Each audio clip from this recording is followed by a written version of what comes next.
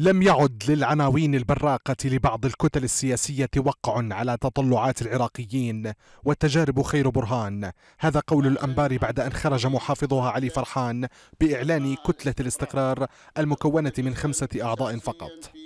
كتلة الاستقرار هذه.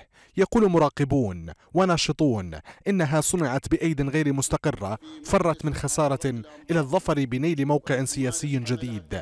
جاءت بعد تقارب سياسي مفزع بحسب وصف المراقبين. فبعد أن كانت معادلة فرحان نحوهم فيما مضى حديث تسقيط فاقع لونه لا يسر السياسيين إلى حد رفض مصافحتهم وتحميلهم وبالأدلة مسؤولية تدمير الأنبار ونقل أهلها إلى العراء قال إنهم الرعيل الأول الذي لم يتقبلهم الأنباريون وهذا حديث المعلقين باستغراب فما الذي جرى؟ وكيف تحالف مع من اتهمهم بتسليم المحافظة في مربع الموت؟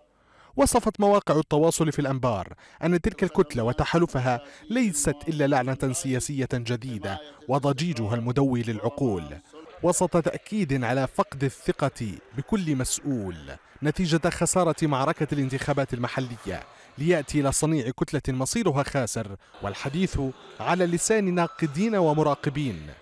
الاستقرار نهج تحقيق الأمنيات للمواطنين والمواطنات لكن في الأنبار يتساءل المواطن الذي طفق بغرابة السياسات وسياسة التناقضات وتكثر التساؤلات ويبقى العراقي على قائمة انتظار لعشرات الإجابات.